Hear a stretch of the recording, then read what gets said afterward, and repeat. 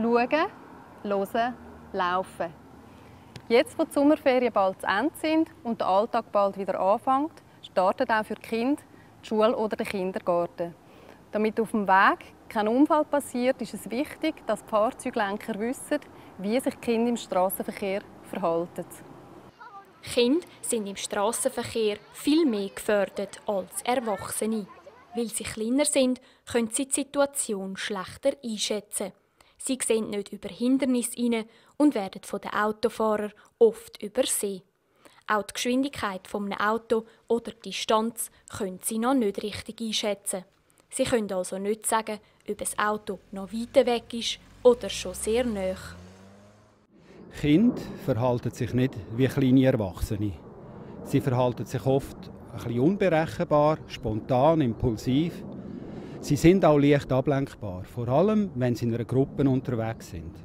Kinder können sich noch nicht gleich gut und gleich lang konzentrieren wie wir Erwachsene. Darum sind sie auch nicht immer aufmerksam. Man weiß also nie mit Sicherheit, was das Kind als nächstes macht. Kinder haben einen grossen Bewegungsdrang und sie spielen gern. So kann es sein, dass sie plötzlich auf die Straße rennen, nur weil sie auf der anderen Straßenseite vielleicht eine bekannte Person sehen oder weil sie einem Ball hinterher rennen, ohne auf den Verkehr zu achten.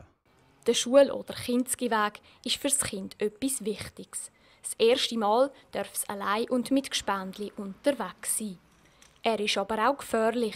Im Jahr 2009 sind in der Stadt Zürich 108 Kinder verunfallt, 35 davon auf dem Schulweg. Kinderunfälle passieren hauptsächlich, wenn Kinder zu Fuß unterwegs sind. Ablenkung und Spielen in Strassennähe sind Hauptunfallgründe.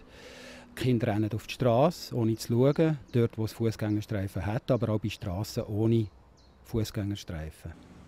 Darum müssen die anderen Verkehrsteilnehmer besonders aufpassen, wenn Kinder in der Nähe sind. Vor allem jetzt, wo dann die Schule wieder anfängt und viele Kinder zum ersten Mal allein auf der Straße unterwegs sind.